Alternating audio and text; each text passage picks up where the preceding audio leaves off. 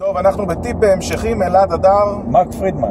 והייתה לך שאלה, נכון? הבטחנו להם משהו. כן, מקודם דיברנו על אה, איך אתה מחליט, איך אתה מתקדם קדימה. ואמרנו פשוט תחליט. פשוט להחליט. כן. נכון. אז אה, רציתי לשאול אותך שאלה מאוד חשובה. כן. מה עוצר אותך? מה עוצר האם אותי? יש איזושהי נקודה שאתה אומר, לא, עכשיו אני עוצר. אתה יודע מה? זה פעם ראשונה שיש לי שתיקה. לא עוצר אותי כלום, הדבר היחיד שיכול לעצור אותי זה אני. וזה הדבר היחיד שעוצר את כולם. העניין שלכולם מעדיפים שיהיה להם תירוצים על דברים שעוצרים אותם. זאת אומרת, קל להם להגיד אין לי כסף, קל להם להגיד אה, אשתי, קל להם להגיד זה העבודה שלי, זה הבוס שלי, זה בולשיט.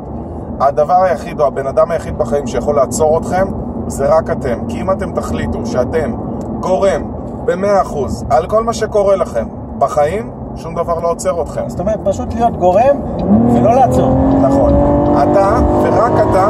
אחראי על כל מה שקורה לך בחיים. ואם אתה מחליט פשוט לעשות משהו, שום מעצור לא אמור לעצור אותך, כי סך הכל זה מכשול זמני שאתה צריך לראות איך לפתור אותו. מי שיאמץ לעצמו את הגישה הזאת, יוכל להצליח בכל מה שהוא עושה בחיים.